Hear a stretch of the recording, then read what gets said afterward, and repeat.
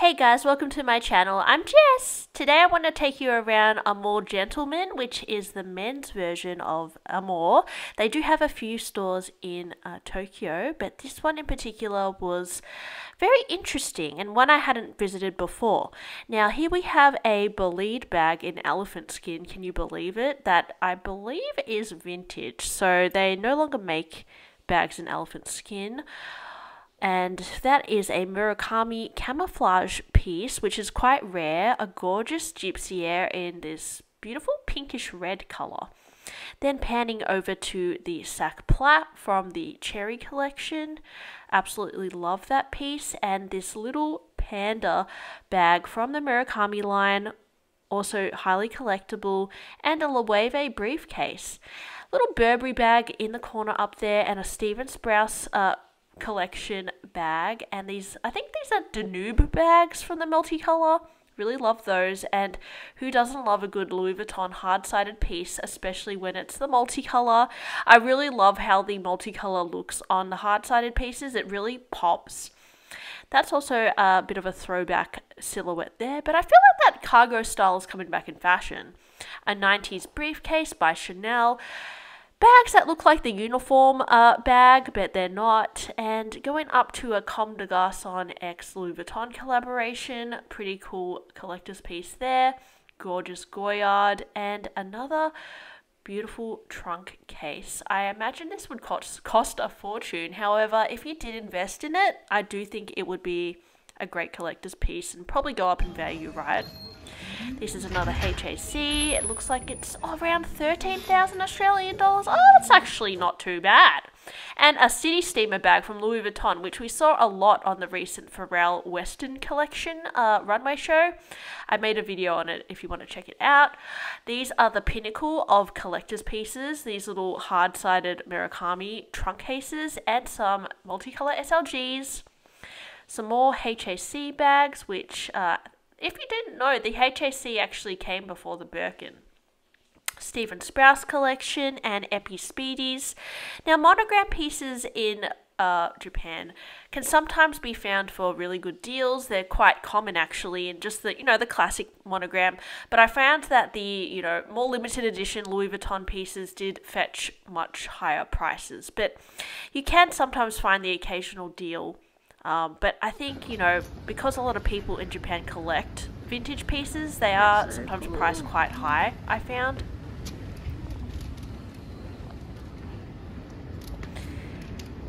Wow. It's uh, 1,000.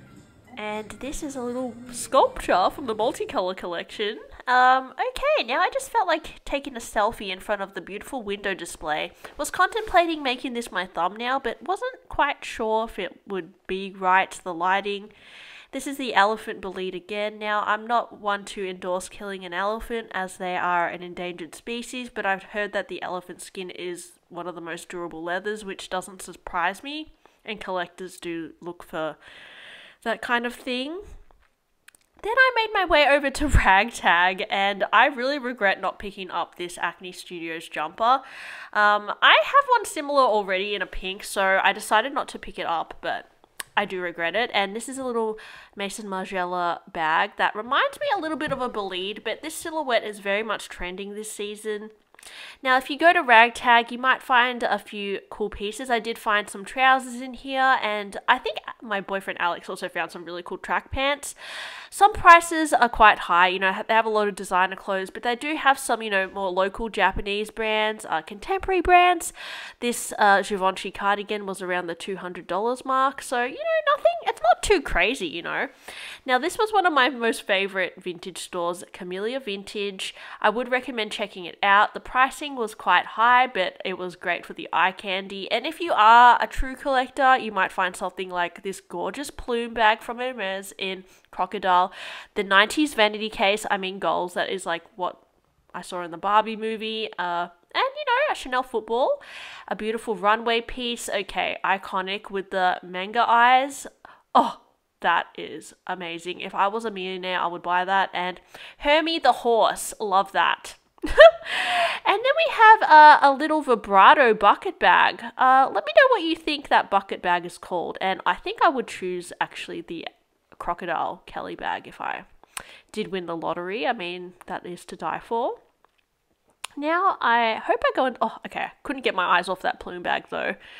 Probably out of my price range, but yeah, let's make my way into the store. Here we go. Now, this is a Chanel boy bag in denim and some vintage Fendi there.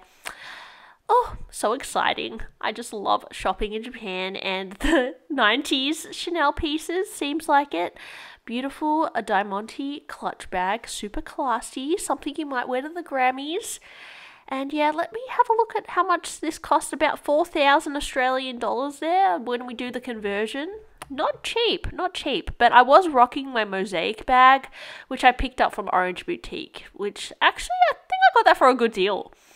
Garden Party 36, 5,000. Yeah, a bit expensive. And then we have some vintage mini Evelyns with the can uh, with the leather strap, sorry, which is something they don't really do anymore. Look at that Louis Vuitton heaven. Wow, wow, wow. You know, the multicolor again.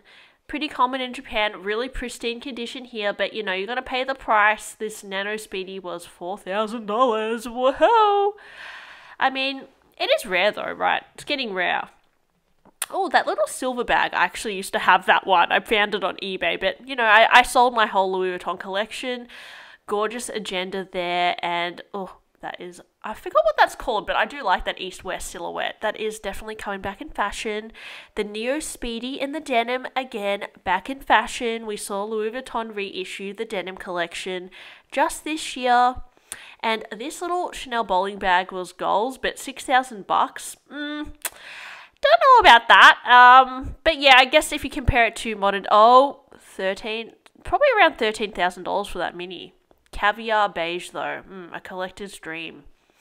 Cambon line, well, can't quite see the price there, but yeah, those tend to go for a little bit less. And black and gold Chanel, can't go wrong, can you? Chevron, look at that gold hardware. People love the 24K plated hardware. That looks a little bit more of a modern piece there with the fabric. Number five, that gorgeous luscious lambskin with the silver hardware. That looks like a double-sided flap, and this flap bag was a little bit more modern. I think it's from around 2018. And of course, my favorite, Hermes. You've got the Birkin 30 there in blue, around 16,000 Australian. That colour was to die for. What is that brown, guys? Let me know. That is gorgeous. Oh, is that bubblegum my favorite? And of course, a beautiful Constance, which looks like it's in box. I think that was around 20k, which is around the retail actually for box calf, believe it or not. And uh, Crocodile, the vibrato again. Um, do you like the vibrato, guys? I don't mind it, but it does look a bit vintagey. Then a Kelly 32, I think it might be in Retourne with silver heart or palladium hardware. You know, I find that box calf with palladium tends to be a little bit rarer. You see in vintage, they tend to do more gold hardware. But you know, palladium hardware, I've been really obsessed with it lately. A Kelly Pochette, 20k, box calf, and one of my favorites, the trim bag. This was pretty similar to the one that Jackie Kennedy used to wear um, back in the 70s. This one was $3,000. Wow, and some Chanel scarves. Ooh, look at that, fluffy. Oh, what was your favorite, guys? And oh, I absolutely love Hermes bag charms, but didn't find any that I was obsessed with in this store. I was looking for a birdie charm, which, well, you might see on my channel that I unboxed one recently. That is a, a vintage Hermes bag.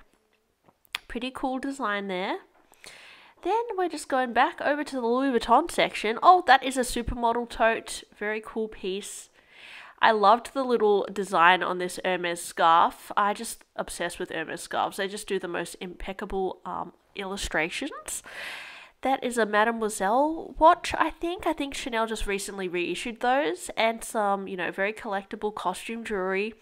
They don't make them like they used to. Some Chanel sunnies. That shop I just went to, Camellia, what is it called? Camellia. Camellia Vintage really cute bags in there, worth checking out. Pricing was a bit random. Some of the items in there were on the higher end, definitely compared to one of the stores I visited previously. Like, the, definitely a little bit more of a premium in there, but really cool selection. A lot of Murakami pieces, like the um, you know, the anime eye uh, big carry-on bag. That is just incredible, that bag. I've never really got to see one up and close in real life. They even had a really nice crocodile plume bag, which was just to die for. Um, lots of vintage Chanel as well. They, yeah, it's obviously mainly vintage, but they did have some newer bags as well in there. I saw Chanel 19, I saw some like newer WOCs and that sort of thing. So a bit of a mix, but worth checking out. May as well, it's good to just check them all out because sometimes you find a random gem that was incorrectly priced or just really rare and you just, you know, have to have it. So worth having a look.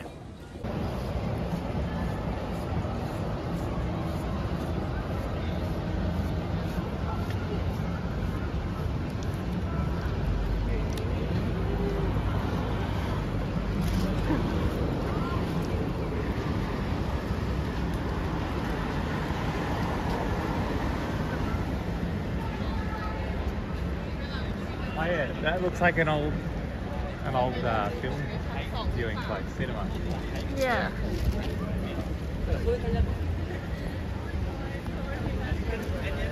After a big day of shopping, we ended up in Shibuya. Shibuya. it's really easy to like walk all across Tokyo. Like we were walking all day. Unfortunately, I can't keep the music in this vlog because it's probably copyrighted, but there was this interesting store called My Sugar Babe. Let me know if you've heard, heard of that brand before. Then we had, I think this was Kith, but they have this section where you could make your own ice cream with cereal, which I really wanted to get, but at the time, I don't know why we decided not to eat ice cream because I think we were trying to save our appetite for dinner, but I still really wanted to get the ice cream. But then I thought, nah, and it was quite overpriced actually, I think. It was just like literally soft serve with cornflakes on top. I'm like, meh. Don't know if that looks amazing, but anyways, then we had Cafe Kitsune. I went here last time and I picked up a little tote bag and some matcha latte. Pretty trendy little cafe here. Um, it's uh, I guess like uh, from the brand Mason Kitsune, which is uh, pretty cute. They're famous for their like fox logo. Um, I was pretty obsessed with this brand at one point, but I kind of got over it. But yeah, you can buy it online as well. Alex is just there um, waiting for me because I'm just filming, and we ended up passing a Gucci store um, to the left. They had pretty similar stock to Australia, but uh, yeah, quite interesting. You can see a lot of like I guess Japanese designer brands in these uh, cities as well. So um, if you're into that, that's probably more worth buying in Japan than European brands tend to be a little bit more expensive.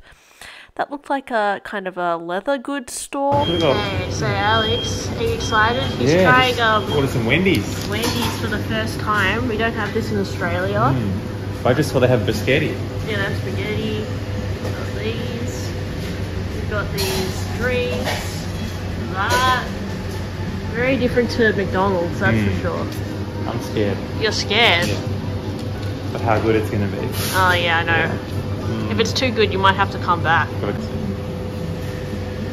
Look, dip, flavor potato, zucchini CBP, Zucchini. zucchini CBP. Have you tried the strawberry mango yet?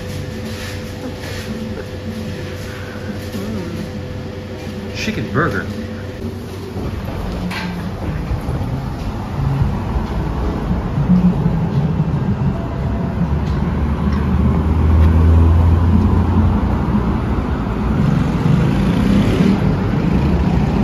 Alright guys, so this is my dinner. I just got a little rice bowl, onigiri. I got this little salad. Um, I got some kimchi there, and then I got some greens, lettuce, Korean lettuce, seaweed, garlic, sesame oil. I'm just gonna combine the salads into the salad and then eat my rice bowl. And then Alex got Wendy's. Well, Wendy's, something I've never seen is this little bag here Yeah. for your drink. Oh, wow. Yeah, very organized. Very organized. Yes. And my other bag You can uh, zoom in if you like. There's some chippies and a Oh, some dipping chips. yeah, yep. dipping chips. Yep. All right, give it a go. Yeah, it's fine. Chip, chips look like actually very good. Yeah. Looks like a real potato. Looks like McDonald's. Yeah, tastes like it too. Ah. Oh, Okay. interesting. Looks alright, I suppose. All right. Oh yeah. I hope, Yeah. I hope it tastes. I hope alright. it tastes alright. That's my salad of salads. Um, Alex has got his little burger there. Yeah. You can have some kimchi too if you want. Oh, probably need some after this. Yeah.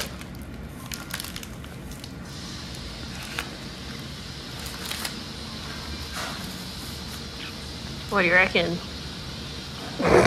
All right. Alright, we'll get to the final verdict after you finish. Okay, Alex, final thoughts on the Wendy's compared to KFC, compared to McDonald's, compared to whatever other burgers you've eaten. okay. Look, I wouldn't get it again. Yeah. It tastes like Burger King or Hungry Jack's, Yeah. but then the cheese is like when you go to the supermarket and you make your own burger and use the cheese from the supermarket instead of like the orange yellow cheese that comes in the burgers. Oh, yeah. Yeah. So it just does- doesn't taste like, you don't get the full, Don't get that. Like I could make that at home yeah. if I want the Yeah. home style taste. Yeah, yeah, you, just, you want the takeaway taste. Yeah. And then this like honey mustard sauce tastes like vomit. Tastes like vomit. Yeah. Oh. What about the chip? Chip, a little bit flavorless. Flavorless. Yeah. Yeah. And not really crispy or soggy, just somewhere in the middle. So and, and the iced coffee, I had one sip, and that's all I'll have. And I love coffee. I always finish my drink. Sorry about that, Alex. Sorry about that. Should have just had the 7-Eleven salad. Yeah.